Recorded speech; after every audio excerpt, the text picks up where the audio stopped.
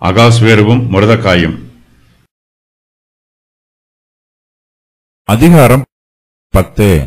ராஜாவாகிய அகாஸ்வேரு தேசத்தின் மேலும் சமுத்திரத்திலுள்ள தீவுகளின் மேலும் பகுதி ஏற்படுத்தினான். வல்லமையும் பராக்கிரமுமான அவனுடைய எல்லா செய்கைகளும் ராஜா பெரியவனாக்கின முருதக்காயினுடைய மேன்மையின் விற்த்தாந்தமும் மேதியா பெர்ஷியா ராஜாக்களின் நடபடி புஸ்தகத்தில் அல்லவோ எழுதியிருக்கிறது. யூதனாகிய முருதக்காய் ராஜாவாகிய அகாஸ்வேருவுக்கு இரண்டாவதானவனும் யூதருக்குள் பெரியவனும் தன் திரளான சகோதரருக்கு பிரியமானவனுமாயிருந்தும் அன்றி தன் ஜனங்களுடைய நன்மையை நாடி தன் குலத்தாருக்கெல்லாம் சமாதானம் உண்டாக பேசுகிறவனுமாயிருந்தான். அகாஸ்வேரு பெர்சியா தேசத்தின் பேரரசனாக விளங்குகிறான். அவனுடைய ராஜ்யம் விரிந்து பரவி இருக்கிறது ராஜாவாகிய அகாஸ்வேரு தேசத்தின் மேலும் சமுத்திரத்தில் உள்ள தீவுகளின் மேலும் பகுதி ஏற்படுத்துகிறான். அகாஸ்வேரு ராஜா நூற்றி இருபத்தி ஏழு தேசங்களுக்கு ராஜாவாக இருக்கிறான். இந்த தேசங்கள் மூலமாக ராஜாவின் கஜானாவில் ஏராளமான பொக்கிஷங்கள் வந்து சேர்கிறது. பெர்சியா தேசத்து ராஜாக்கள் தேசத்து ஜனங்களிடத்தில் இருந்து வரி வசூலிப்பது வழக்கம். இப்போதும் இந்த பட்டணம் கட்டப்பட்டு அலங்கங்கள் எடுப்பிக்கப்பட்டு தீர்ந்தால் அவர்கள் பகுதியையும் தீர்வையையும் ஆயத்தையும் கொடுக்க மாட்டார்கள்.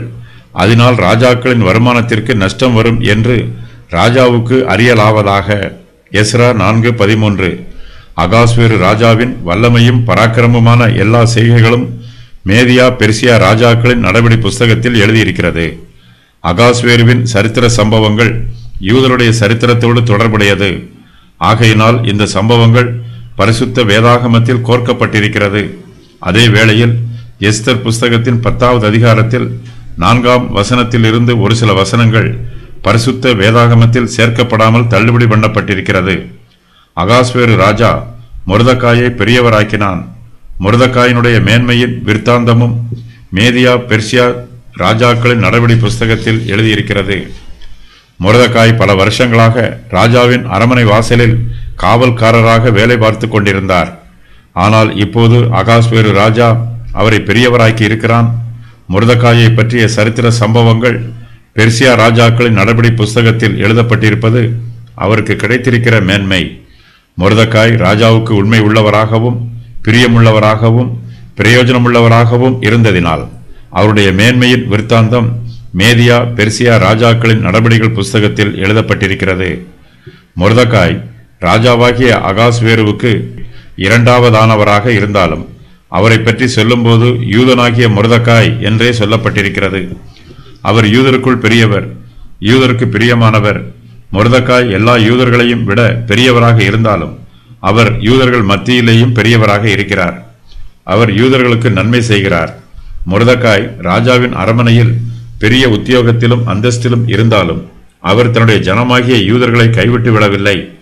யூதர்கள் பெர்சியா தேசத்திலே அந்நியராகவும் அடிமைகளாகவும் சிதறடிக்கப்பட்டவர்களாகவும் இருக்கிறார்கள். முருதகாயோ பெர்சியா தேசத்து அரமனையில் ராஜாவுக்கடுத்த ஸ்தானத்தில் இருக்கிறார். அவர் தன்னுடைய ஜனமாகிய யூதருக்கு தன்னால் முடிந்த எல்லா உதவிகளையும் செய்கிறார். முருதக்காய் தன் திரளான சகோதரருக்கு பிரியமானவராய் இருக்கிறார். மேலும் அவர் தன் ஜனங்களுடைய நன்மையை நாடி தன் குலத்தாருக்கெல்லாம் சமாதானம் உண்டாக பேசுகிறவராயும் இருக்கிறார். முருதக்காய் தன்னுடைய சுய மகிமையை நாடவில்லை. தான் மாத்திரம் ஐஸ்வர்யவான் ஆக வேண்டும் என்று ஆசைப்படவில்லை. தனக்கும் தன்னுடைய குடும்பத்திற்கும் பெரிய அரண்மனையை கட்ட வேண்டும் என்று முருதக்காய் விரும்பவில்லை. முருதக்காயின் அதிகாரமும் அவருடைய ஐஸ்வர்யமும் யூதர்களுக்கெல்லாம் பிரயோஜனமுள்ளதாய் இருக்கிறது.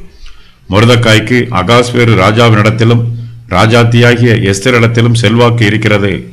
முருதக்காய் தன்னுடைய செல்வாக்கை யூதர்களுடைய நன்மைக்காக பயன்படுத்துகிறார். முருதக்காய் வழக்குகளை விசாரிக்கும் போது பட்சபாதம் பார்க்க மாட்டார். அவர் தன்னுடைய யூத குலத்தாருக்கெல்லாம் சமாதானம் உண்டாக பேசுகிறவர். அகாஸ்வேரு பெரிய சக்கரவர்த்தி ஆனான் ராஜா முருதக்காயை பெரியவனாக்கினான். பெர்சியா தேசத்தில் உள்ள எல்லா யூதர்களும் முருதக்காயை தங்களுடைய தலைவராக ஏற்றுக்கொள்கிறார்கள். தங்களுக்கு முருதக்காய் செய்த நன்மைகளை யூதர்கள் அங்கீகரிக்கிறார்கள். அகாஸ்வேருவுக்கும் எஸ்தருக்கும் பிறந்த குமாரனின் பெயர் கோரைசு. இவன் கர்த்தர் மீது பக்தியாயிருந்து யூதர்கள் தங்கள் சொந்த தேசத்திற்கு திரும்பிச் செல்ல அனுமதி அளிக்கிறான்.